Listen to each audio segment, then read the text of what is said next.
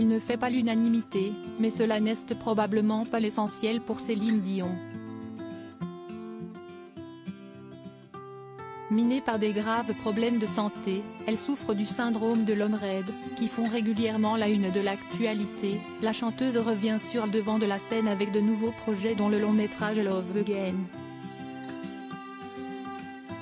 Sa sortie est prévue pour le 7 juin en France, alors qu'il est déjà en salle aux États-Unis depuis le 5 mai. Malgré les retours très mitigés des critiques, les fans de la chanteuse québécoise ont eu un véritable plaisir à la retrouver, d'autant qu'elle est aux manettes de cinq chansons. Le réalisateur du film, James C. Struz, a révélé dans une rencontre virtuelle sur Zoom avoir adoré travailler avec l'artiste, qu'elle était d'une grande gentillesse, une actrice douée ouverte et prête à s'abandonner.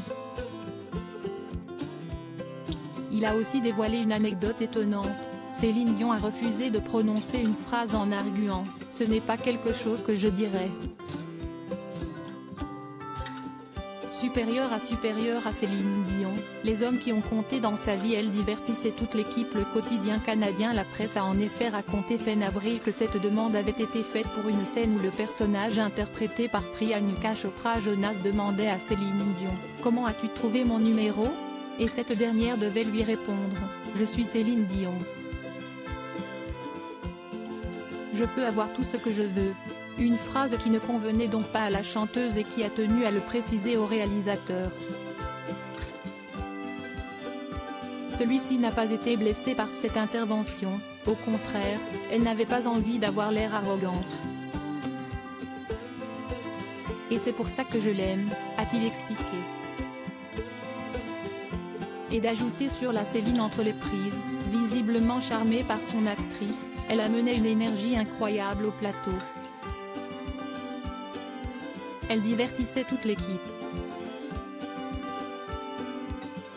Tout le monde avait du bon temps quand elle était présente.